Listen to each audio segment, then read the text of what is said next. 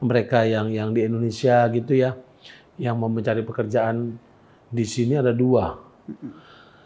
Kalau pekerja-pekerja formal Ya, ekspor ke Dubai itu adalah untuk wilayah Timur Tengah Timur Tengah. pasarnya. Tapi itu nggak cukup, Bu. Kenapa Sayang. nggak cukup, Pak? Sayang. Kenapa?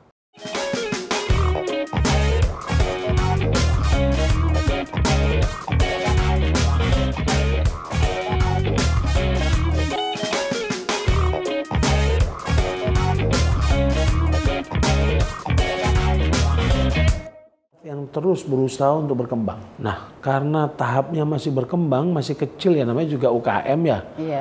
Sebagian besar, sebagian besar UKM kita itu mereka harus diakui tidak mampu untuk melakukan ekspor langsung. Kenapa bisa Ekspor itu begitu, nggak gampang. ekspor itu nggak gampang, Bu. Enggak, ada persyaratannya, ada prosedurnya, cara pembayarannya gitu ya. Oke.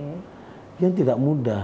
Kalau barangnya itu ditenteng atau mengirimkan kira-kira katakan eh, 550 kilo, 100 kilo kopi, eh, itu belum ekspor lah. Oleh karena itu eh, saya yakin eh, teman-teman di kementerian-kementerian di Jakarta mereka sedang mendorong ada model agregator. Jadi ada satu perusahaan yang mengumpulkan produk-produk itu untuk diekspor. Untuk diekspor. Kenapa? Karena selain prosedurnya susah, ekspor itu juga ada unsur competitiveness produk dan keberlanjutan. Keberlanjutan betul, Pak. Jangan sampai ketika permintaannya banyak, yang di sini produsennya nggak mampu memenuhi, siap memenuhi nggak siap, akhirnya kualitasnya diturunkan, akhirnya malah macet, Betul.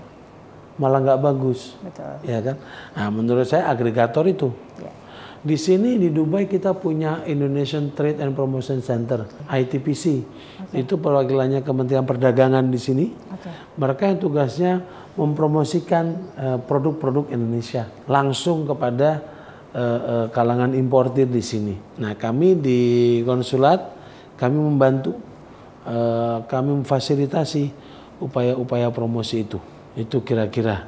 Nah, eh, untuk teman-teman UKM Indonesia, tadi pesan saya lihat eh, Dubai sebagai hub Betul. kawasan Timur Tengah, kawasan Afrika, dan Asia Selatan. Asia Selatan. Itu pasar yang sangat besar sekali. Oke Bapak. Hmm. Eh, kemudian menurut artikel dari media online Pak, pemerintah mendukung UMKM yang dimiliki oleh eh, pebisnis perempuan yang ada di Dubai. Nah, mungkin boleh tahu Pak, akan seperti apa dukungan yang akan diberikan kepada bisnis woman. Bahasa Oh, iya. kerennya nih para bisnis woman Iya iya iya iya iya. yang ada di Eh, Dubai. Betul betul. Eh, ya saya kenal beberapa ibu atau beberapa perempuan ya yang menjalankan bisnis Ya. di Dubai dan sekitarnya. Ah ini kami dudukan berikan dukungan sepenuhnya. Sepenuhnya Eh, ada misalnya ibu yang memiliki karena nggak boleh nyebut merek ya. Ya. Ibu yang memiliki supermarket di Dubai saja ada tiga supermarket Indonesia, lalu ada dua supermarket yang lebih besar di Sarjah. Oh ya. Namanya bukan Indonesia, tapi produknya Indonesia Produknya semua. Indonesia semua. Ya, Eh, lalu ada satu eh, perusahaan importir buah-buahan Oke. yang punya orang Indonesia, ya kan, Eh, buah sayuran gitu. Sampai sekarang masih belum impor dari tahap awal. Impor dari Indonesia sudah mulai, ya kelapa gitu dia impor dari Indonesia. Nah kita berikan dukungan. Oke. Eh, memang kita tidak bisa memberikan dukungan apa finansial gitu enggak ya. Tapi apa pun yang dibutuhkan kita bantu. Oke. Eh, ada juga pengusaha restoran bu. Oke. Perempuan pengusaha restoran satu, dua, tiga lah. Oke. Tiga perempuan ya pengusaha restoran.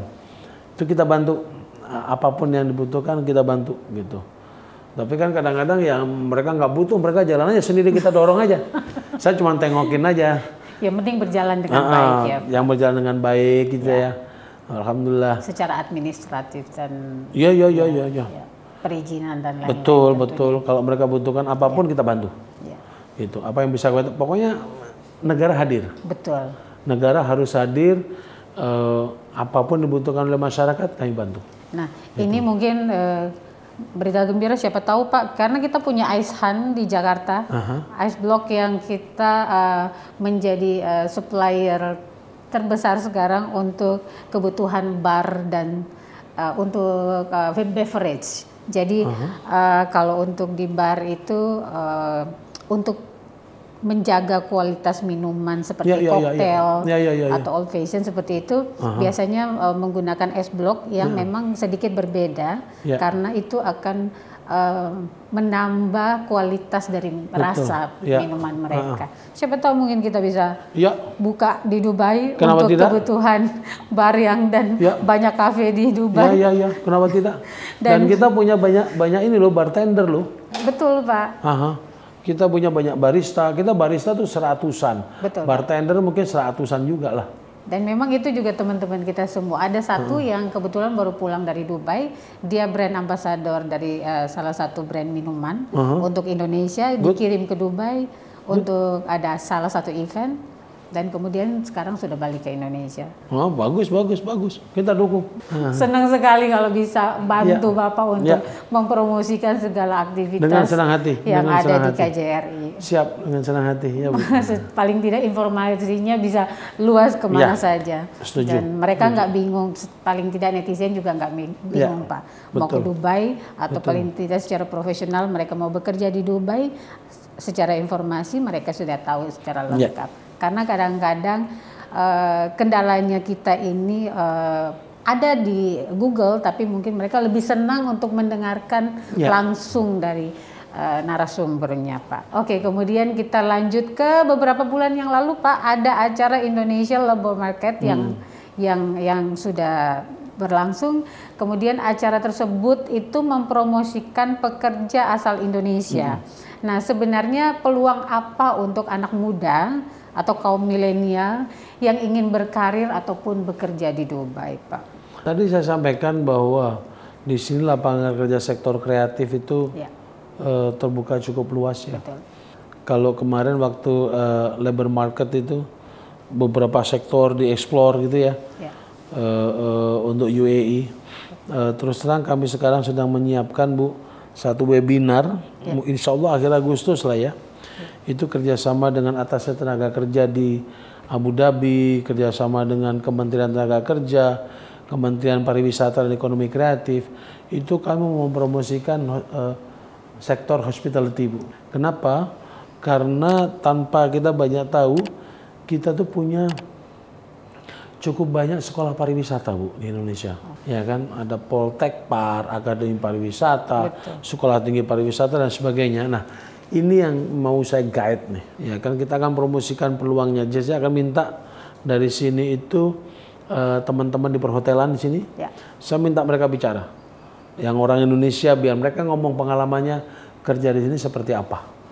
Terus saya akan minta orang asingnya, jadi ada manajer yang orang Amerika atau mana ngomong sekalian di situ, ya kan? Karena ada beberapa hotel bagus tuh ketika saya ketemu, Chandra, please send me more Indonesian to work at my company. Ini ini peluang yang harus kita tangkap. Eh, kalau di luar sektor-sektor profesional, sektor-sektor kreatif, anak muda dan sebagainya, di sini kesempatannya bisa, nah mereka tuh pinter-pinter ya, mereka tuh tahu sendiri, lebih tahu dari saya, jangan-jangan kan eh, apa namanya eh, eh, eh, eh, kesempatannya di sini. Karena saya nggak jarang ketemu orang Indonesia jadi, misalnya eh, DJ Iya, di sini ya kan, Eh, lalu desainer, betul. Mereka nemukan sendiri itu, fotografer gitu Betul. event organizer. Betul, Pak. Itu kan eh, saya ketemu kebetulan karena dia pernah kerja sama saya waktu di Jakarta kan. Tiba-tiba dia muncul di sini. Ngapain ini? kerja Pak di sini sini sini. Eh bagus. Gajinya bagus bagus Pak. Ya sudah. Jadi eh, di antara mereka itu informasinya sangat cepat bergerak. Ya kan? Dan lowongan-lowongan pekerjaan di sini bagus. Yang saya minta tadi itu siapkan mental betul. Betul, Pak. Ya. Dan memang eh, mungkin karena eh, secara SDM-nya kita memang eh, sudah siap untuk untuk di bidang hospitality mungkin Ya, ya, Pak. kita tuh siap. Satu aja problem kita. Ya. nggak pede ngomong Inggris. nggak ini ini ini kita terus terang Betul, saja. Pak. Ya, saya bilang begini, kita tuh belajar bahasa Inggris ya kan dari SMP, ada mungkin dari SD, SMP, SMA gitu ya ketika kuliah. Itu sebenarnya sudah cukup untuk ngomong. Betul. Cuma kita takut salah. Kenapa takut salah? Karena kalau tak kalau salah kita takut diledekin. Iya. Padahal, padahal nih Bu ya, yang ledekin itu siapa sih? Teman kita Teman sendiri. kita sendiri, betul. Orang asingnya nggak ngeledekin. Nggak. Betul. Sama seperti kita bertemu orang asing belajar bahasa Indonesia. Iya. Terus kalau dia salah ngomong nih, dia siang-siang ngomong selamat sore. Terus kita bilang, no, no, no, no, no. selamat siang. Enggak juga kan? Ya. Kita bilang, ya dalam hati, good. Bahasa Inggrisnya good. Ya. Bagus. Kalau di sini kita dengar orang-orang dari bangsa lain tuh ngomong bahasa Inggris, wah saya enaknya aja. Betul. Tapi mereka survive Ya. dan bekerja bagus di sini. Betul. Jadi itu percaya diri saja, salah juga nggak apa-apa Betul. kalau ngomong bahasa Inggris. Karena kita secara profesional pekerja-pekerja kita itu sudah diakui. Kita tuh tekun, kita loyal pada pekerjaan. Karena kadang-kadang eh, kita kalau bicara bahasa Inggris, pengalaman yang terjadi di teman-teman itu mereka maunya perfect secara pengucapan padahal sebenarnya kita ini aslinya basicnya kan orang Indonesia orang Hmm. Asia so nggak apa-apa jadi kadang-kadang orang apa bahasa bahasa kerennya apa Singlish Hmm, kalau bahasa Inggris, Sing- Iya, orang Sing- Singapura Inggris nggak apa-apa. Iya, Indonesia Inggris dengan mendoknya kita Nggak sebenarnya apa-apa. kita harus tetap bangga Ah, bahwa kita bicara bahasa Indonesia dengan ah, bahasa Inggris dengan mendoknya Indonesianya kita. Hah? Sebenarnya itu Iya, keren iya, ya, iya, Pak iya, ya. Keren, keren. Jadi ciri khas tersendiri Hah? dan paling tidak eh, siapa teman kita bicara itu tetap bisa memahami Iya. dan mengerti apa. Salah sedikit-sedikit juga nggak apa-apa. Nggak apa-apa. Karena kita, kita tidak terlahir sebagai orang Dan lagi Inggris. emang emang bahasa Inggris itu gampang, enggak lah. Pak. Bahasa Enggak lah. Indonesia juga nggak gampang. Bahasa Indonesia nggak gampang. Benar. Ya kan, kita antar etnis Indonesia saja. Kadang-kadang kita bingung dengar bahasa Ngomongnya. Indonesianya orang orang eh, eh, Sulawesi. Ya. Nggak usah jauh-jauh. Saya itu orang Jawa Timur. Betul, Pak. Ya kan di Jawa Timur kalau sama orang Jakarta itu nggak ketemu. ketemu. Karena orang orang Jawa Timur bilang di muka rumah. Padahal orang Jakarta bilang di depan, Depan rumah. rumah. Muka itu kan wajah ya. Betul. Orang Jawa Timur bilang di muka rumah enggak di depan rumah. Betul. Kamu mau ke mana? Mau ke muka situ? Enggak, ke depan. nah itu itu enggak enggak apa-apa gitu. loh. Mau gayanya medok dan sebagainya, yakin aja. Betul. Enggak apa-apa kok. Apalagi saya Pak aslinya kan dari Nusa Tenggara Timur. Hah? Terus kemudian ke Jakarta, di Jakarta bingungnya lulu gue gue Hah? sedangkan di eh, Indonesia di Nusa Tenggara Timur kita beta, Ya, ya. saya kamu agak sedikit baku ya Bapak. Jadi lulu gue gue oke. Tapi itulah indahnya kita Indonesia. Indonesia, Pak. Berbagai macam eh, ragam Budaya, budaya betul, dan betul. bahasa itu yang sebenarnya kita harus bangga Ya. karena belum tentu negara lain itu punya beragam bahasa Ya, ya, seperti ya, ya. kita. Heeh, Oke, pertanyaan terakhir Bapak. Boleh. Harapan dan pesan Bapak untuk warga Indonesia yang ada di Dubai atau yang seri Hmm. eh, sedang merintis bisnis mereka yang ada di Dubai. Ya, kalau saya pesan saya standar juga nih Bu. Ya, Untuk kondisi sekarang, jaga kesehatan. Betul. Betul. Kalau sekarang jaga kesehatan, ya eh, pandemi belum berakhir, belum menjadi endemi. Apakah di Abu Dhabi, di Dubai, eh, di mana di UAE, Dubai, ataukah di Indonesia? Ya. Satu, jaga kesehatan. Memang kita sudah divaksin, kita kuat badan kita, tapi tetap jaga kesehatan.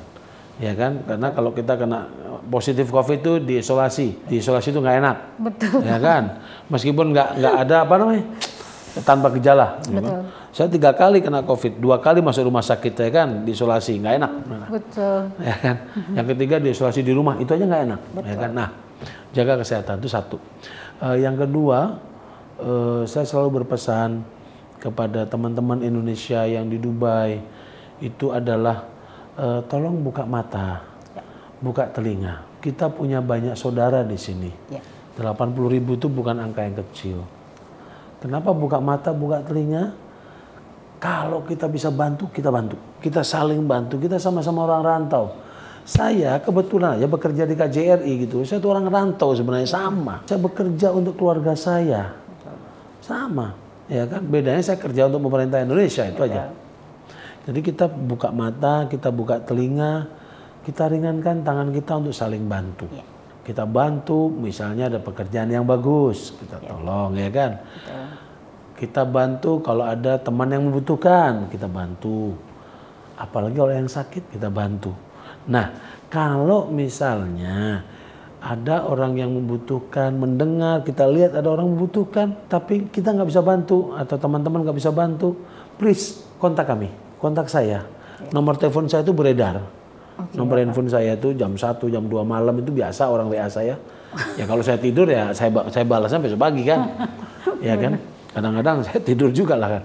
Nah, please feel free datang ke rumah kalian, ke rumah rakyat Indonesia di sini ya kan kita pasti insya Allah kita akan berusaha bantu nah saya minta kepada semua masyarakat Indonesia untuk juga saling bantu kita saling tolong sama-sama rantau kita untuk mereka yang dari Indonesia kalau mau bekerja di sini silahkan tapi bekerjalah di sektor formal kalau yang sektor informal pekerja domestik jangan datang ke sini jangan cari tempat yang lebih baik Betul. Ya, cari yang lebih baik. Ya kan banyak lebih baik. Saya tadi pagi ketemu dengan Pak Wagub NTT. Yuk. Nah, beliau buka lahan eh, beberapa puluh hektar untuk mereka-mereka yang kemarin bekerja sebagai pekerja migran lalu pulang kampung. Nengok saudaranya dia bilang kalian nggak usah berangkat lagi. Saya sediakan lahan untuk buka tanaman kopi. Kalian masih membutuhkan pekerjaan usahakan jangan ke sini. Kalaupun ke sini bekerjalah yang baik. Bekerjalah yang baik. ya bekerjalah yang baik gitu. Tapi kalau kalian butuh bantuan datang kami. Itu aja Ya. Baik, terima kasih uh, Pak Chandra Sama-sama, atas Mbak. waktu dan kesempatan Ya. yang membuat uh, kita dari Rereto merasa sangat bangga sekali karena bisa dikasih kesempatan untuk berbincang-bincang dengan Bapak. Dan buat kalian semua yang ada di rumah, thank you for watching. See you for next episode. Bye bye. terima kasih Terima Terima kasih Bu. banyak Bapak. Makasih, makasih. Ya, kemarin untuk acara eh, eh, Dubai Expo Betul. itu menurut saya sukses besar ya. Ya. Eh, Dubai Expo itu kan harusnya diselenggarakan tahun 2020. Betul. Tapi karena pandemi diundur ke 2021, tapi namanya tetap 2020. 2020. Nah, kita